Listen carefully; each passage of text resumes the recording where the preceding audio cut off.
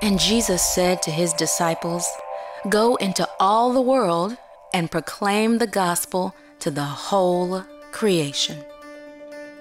Proclaim not just to his sons, but his beloved daughters. Not just the privileged few, but to the entire human race.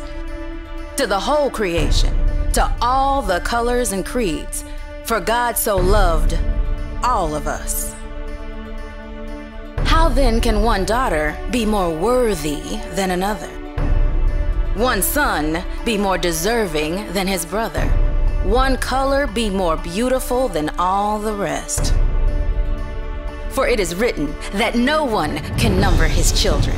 They will come from every nation. They will come from all tribes. They will speak all languages. And with their mouths they will sing, Holy, holy, holy is the Lord God Almighty, who was and is and is to come.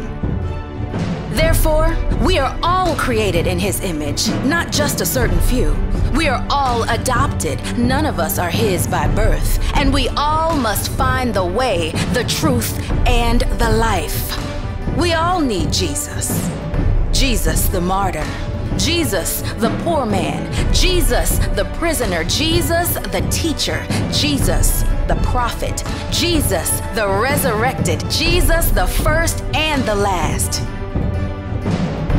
He is the creator of diversity, the author of equality, the defender of the defenseless, the one who breaks the chains of slavery, the one who continues to fight for freedom.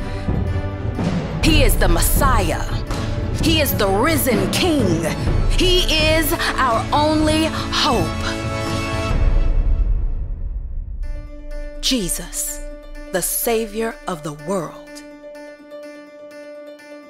Jesus, the one who died for all.